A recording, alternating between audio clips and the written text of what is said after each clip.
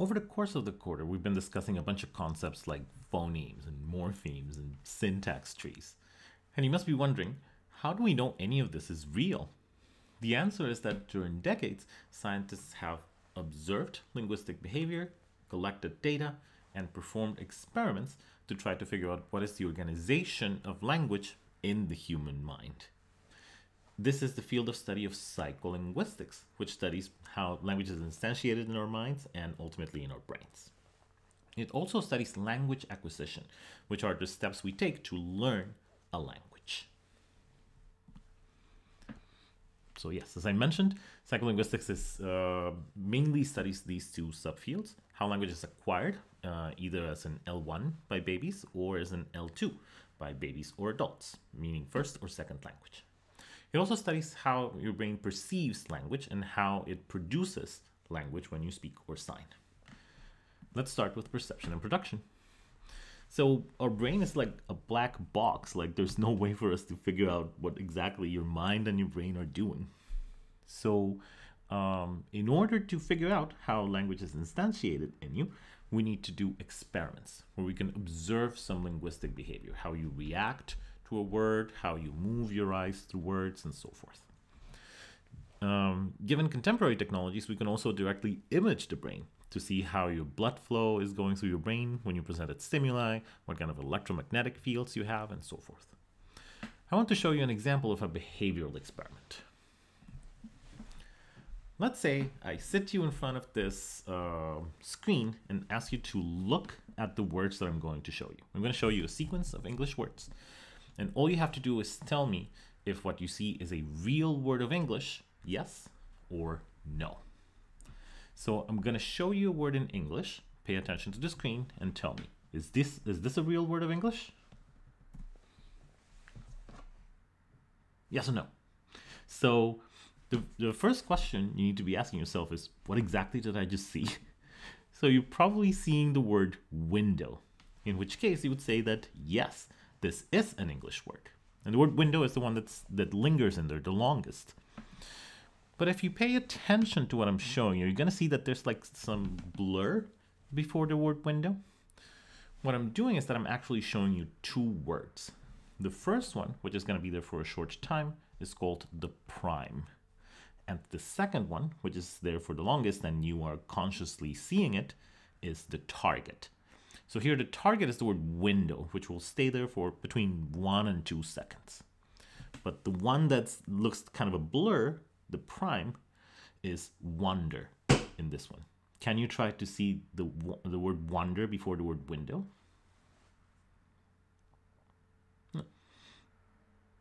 Now that you know what you're looking for, it's kind of visible, isn't it? So this experiment is called, this type of experiment is called priming. We are studying how seeing a word influences your reactions for subsequent words. So, for example, if you see wonder, is that going to have any effect on how you answer to whether uh, window is a word of English or not? You're probably always going to say that it is a word of English, but maybe your speed will be uh, different. In the experiment, what the person would need to do is sit in front of a keyboard and press a yes or a no. And this will take time for their finger to reach the button. We call this the reaction time. So if you see wonder, wonder for 50 milliseconds and then see window for about two seconds, your mind is not going to be conscious of seeing wonder, but it will be processed in the back of your mind. And while it's doing that, the next word, the target, is going to enter your mind as well. So you're going to have different reaction times with different combinations of primes and targets. Let's uh, look at a couple of examples. If the, the prime, the word that gets displayed for 50 milliseconds, is song, and then you match it with the target mrabel, this reaction is going to be fairly slow me because the brain has to look through all of its words to see if Mrabel exists and it's going to say that it doesn't. And the correct answer is going to be no, but it is going to take the longest time because the brain has to exhaustively look through everything. If you have the prime song and then you combine it with the target panda, this is still going to be slow, but it's going to be a little bit faster than this than the first one. And this is because panda does exist. So it's going to react to a real word word, but still one that is unrelated to song. There's really not connection, no connection between the two. What about if you pair song with song? This is going to be the fastest reaction because when you see the prime, the word song will be active in your mind. It will be like opening a file on a computer. And then when you see a uh, song for the second time, it's going to take a shorter time for you to access that file and bring it into memory. So you're going to say that yes, song is a word much faster than you would to panda because the, the file that contains song is already active in your brain. The most interesting case is the combination of song and music. This one is going to be somewhere in between these two.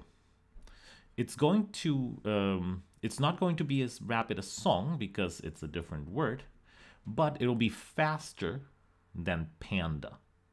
Why? Because song and music are related. They are semantically related. So if you open the file for song, it's going to open the file for song, but a bunch of other files that are semantically connected to it, including music. So music is going to get a little boost when it is activated as the target. So you can see that this provides mathematical and tangible reality for concepts like the mental lexicon, for, an, for the idea that words are connected amongst themselves. That if you see the word song, you are indeed activating song and its hypernyms, like music, because you get that little extra boost from the prime when answering to the pair song music. So this is a type of behavioral experiment because we look at your reaction from a stimulus. You have a stimulus from the screen that enters your eyes, goes to your brain, and then you have a response which has to go through your fingers into the keyboard. You are examining some behavior that you have. And this is just one example of a type of behavioral experiment. Uh, there's experiments that involve eye tracking, which follows your eyes as you read. And there's judgments of sentences, for example, saying if a sentence is well formed or not. We use these in syntax, for example all of these again observe behavior. So they observe your brain indirectly by your behaviors. We can also look at the brain directly. We can look at things like blood flow in magnetic resonance imaging or mri we can look at the electric field emanating from your brain as your neurons think. We use eeg or uh, electroencephalography. Or we can use a device like MEG, magnetic resonance imaging, to look at the electromagnetic field coming out of parts of your brain. And we can use these instruments, for example, to know that there are indeed specific parts of your brain that are engaged when you are processing linguistic information. We also know that morphemes are real because every time your mind has to break up a word into morphemes, it has a little hiccup, like a little uh, pause, in its, uh, like a little break in its electric field, because it's expecting the word to continue and bloop, it actually has to break it to process a different morpheme. So all these provide tangible evidence that the phenomena we have studied in the last few weeks do have some degree in reality in people's minds. So psycholinguistic experiments are used for a whole, uh, for throughout the field of linguistics. We have already talked about language acquisition, which is the study of how uh, language learning goes. It could be by uh, adults, but the focus has historically been on how children acquire their first language. And as we have seen, there's different theories for how this is done. Maybe they learn it through by cobbling together all of their cognitive power, or maybe they do it because they have something innate to language that gives them a little boost when learning. Um, what we know for a fact is that there are different stages in how children display their linguistic abilities. For example, it's um, in between four and eight months, they start babbling, producing combinations of consonants and vowels like ba or duh.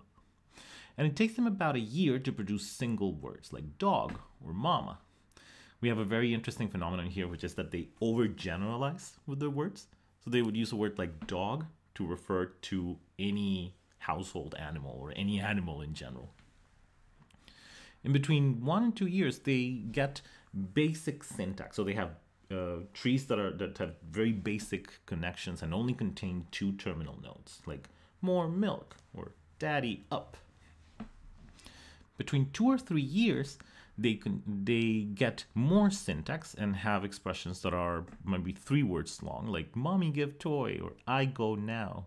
But as you can see, these are already full inflectional phrases.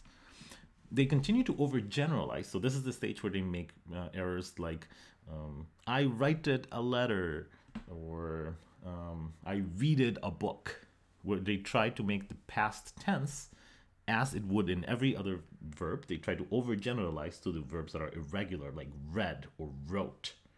So what they're doing is applying their intellect to try to um, extrapolate patterns and try to apply those patterns as aggressively as possible to all of the words.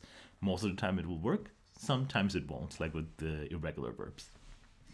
Finally, when they get to three to four years, you're going to see a more complete acquisition of syntax. So you're going to get more complex phrases with uh, CPs, for example, like please can I go now or mommy is coming home. So these are stages uh, that are followed during language acquisition. Sign language follows a completely similar process. And these are the fields that are studied by psycholinguistics. They study how people acquire and use language. And they use observation of the patterns in children, for example, or experimentation to try to deduce how language is instantiated in their mind and brain. And it is connected to other fields like psychology and cognitive science.